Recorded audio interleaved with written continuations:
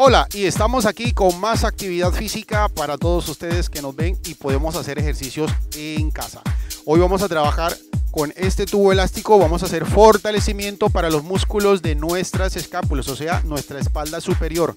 Dos ejercicios importantes para mejorar la movilidad, no solo de las escápulas, sino de nuestros hombros. Así que vamos a los ejercicios. Bien, y vamos con el ejercicio. Para eso vamos a usar un tubo elástico. Yo en este caso tengo dos tubos elásticos.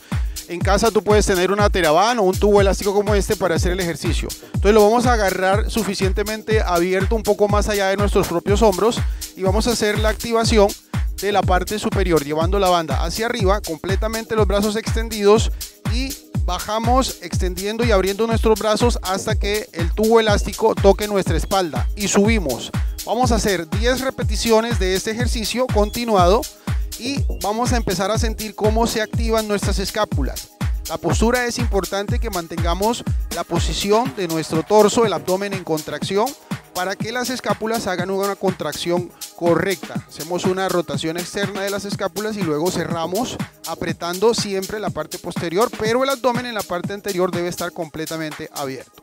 Y el segundo ejercicio, ponemos la banda enfrente, igual, y vamos a hacer la apertura hacia los lados. Recuerden los brazos siempre extendidos y abiertos.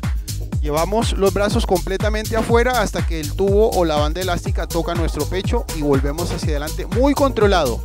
Extensión. Aquí el trabajo lo vamos a ver cuando la espalda se cierran las escápulas. Vamos a sentir cómo hacemos la contracción cuando nuestras escápulas cierran. Las manos van adelante, las escápulas se separan y las manos van hacia afuera completamente y las escápulas se cierran. Son dos activaciones que nos sirven para fortalecer directamente nuestras escápulas y nuestros dorsales.